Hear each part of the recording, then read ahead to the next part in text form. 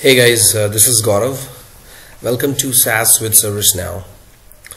In this video, we will talk about how to create your personal developer instance or how to request for your uh, personal developer instance from ServiceNow.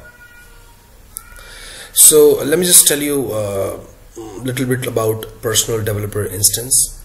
So ServiceNow provides you a facility so that you can practice yourself you can customize yourself in your own personal developer instance. And and that's not related to any kind of production instance. It's totally different from any production environment like you're in your organization or any company.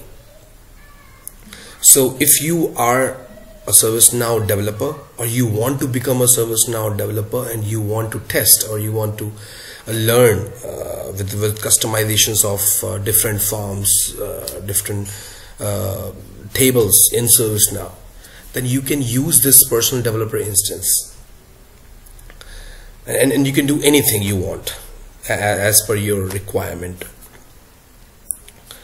So uh, to request for ServiceNow developer instance you have to go to this link and this link is developer.servicenow.com so this is the link where you have to go and you have to register for your instance.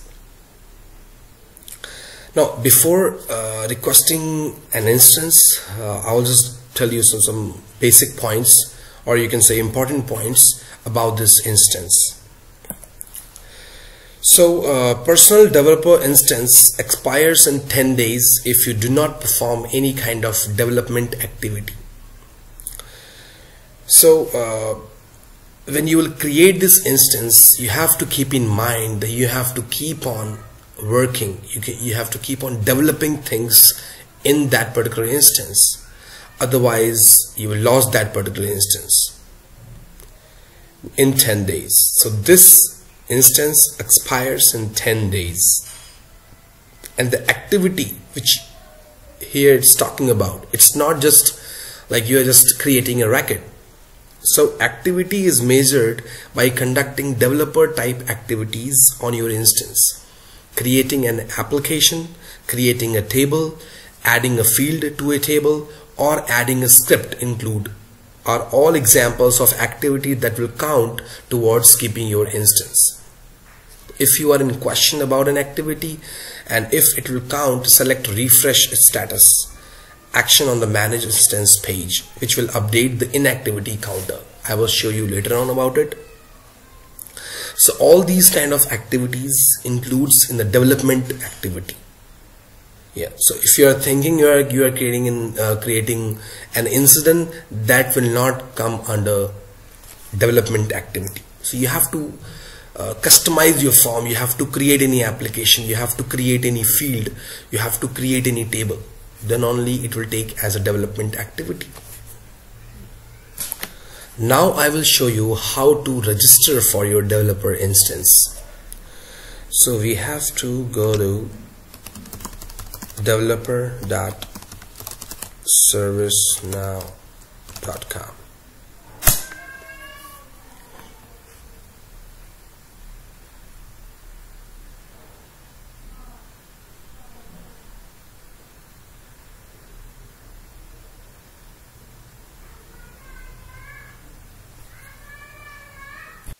okay so this is the home page for that developer uh, website you can say uh, portal.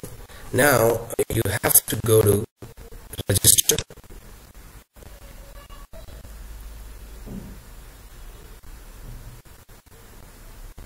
So this registration is not only for your uh, personal instance it is also for learning perspective so it will it will have some documentation it will have some uh, learning programs so that you can learn you can create your different uh, tables applications.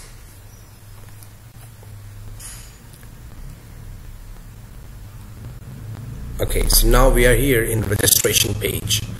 So I can just uh, give my name Gaurav and the last name is Tripathi and then I can just put my email address so.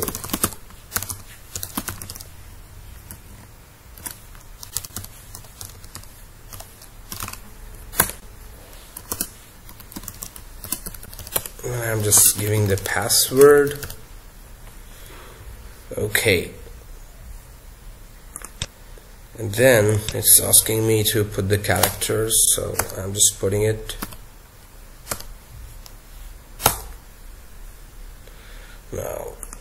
I have read and agree the agreement. Okay. Then click on submit.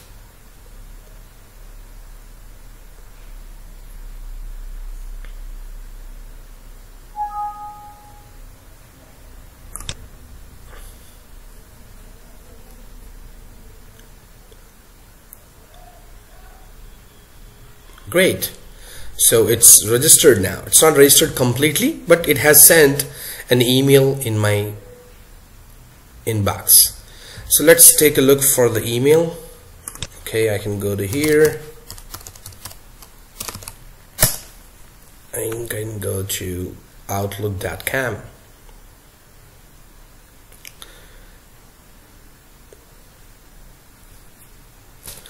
now I am in my email and you can see this email which I have received from ServiceNow. It says welcome to ServiceNow developer program. So please validate your email. So uh, it is asking me to uh, click on below link so that I can register for it. Okay so I will do one thing. I will just pick this email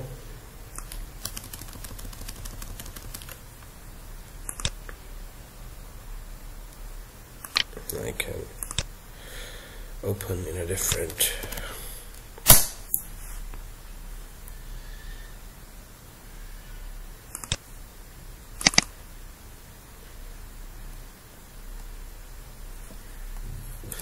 so when you click on that link uh, it will open up a new window and you will see your account is now active and you can click on sign in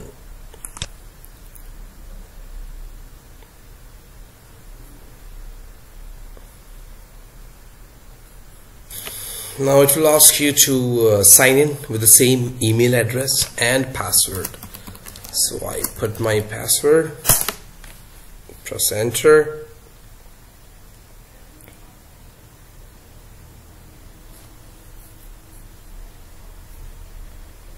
Okay so I'm signed in. You can see my name here. Now it's just asking you to accept agreement. So if I go at the bottom I click here. I click on submit. Now it is asking me what best describes you? Okay so are you a developer? Okay I am independent developer you can say that. Then what do you want to do? Learn about the platform. Okay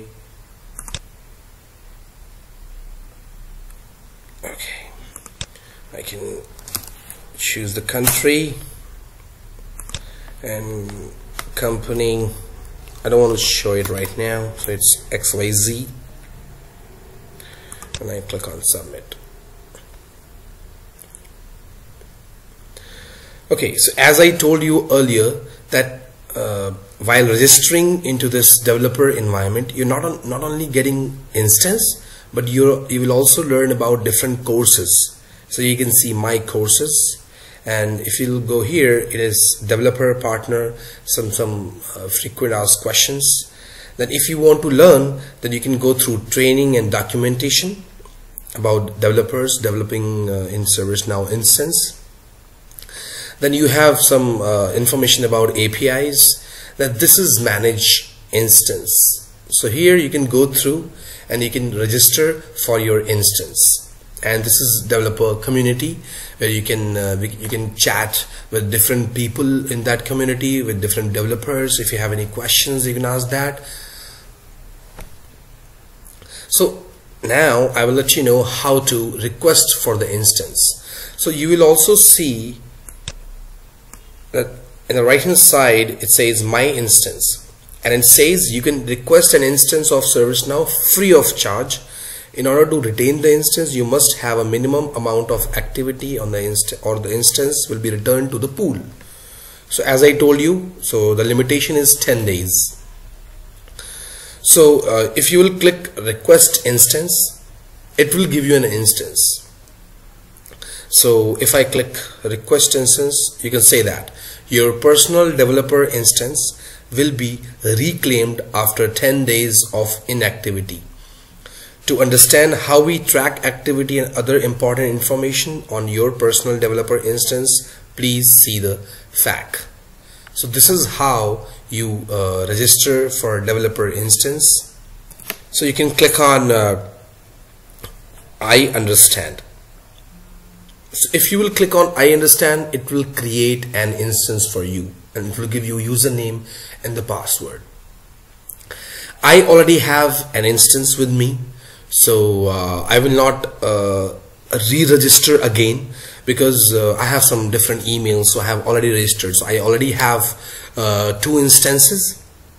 Recently I registered for Geneva uh, because currently ServiceNow is uh, giving this instance new instance with uh, Geneva version. Yeah it's not coming with Fuji version. So I have two versions Fuji and Geneva also which I just uh, registered today. And I, I, will definitely show it show it to you.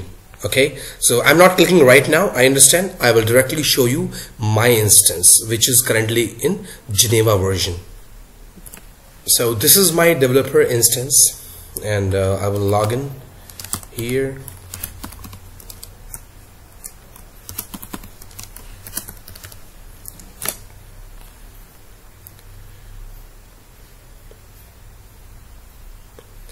so this look is Geneva version. And this is also UI version 16 so it's UI 16 so in ServiceNow we have a different user interface. So we have UI 14 we have UI 15 we have UI 16 so with this Geneva version we have UI 16 so you can, you can see different applications same applications here now if you want to switch to UI 15 you have that facility. You can click on the setting icon and then you can click here switch to UI 15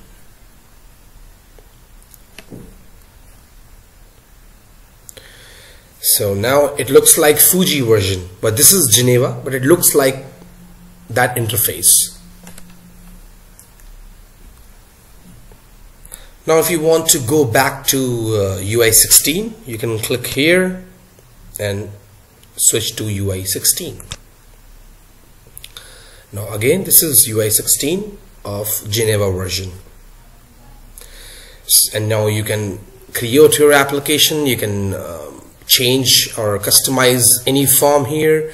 You can learn uh, anything you are uh, creating any application in your organization and you want to test it here you can also do that so this is how you register for your personal instance and make sure that you are keep on developing things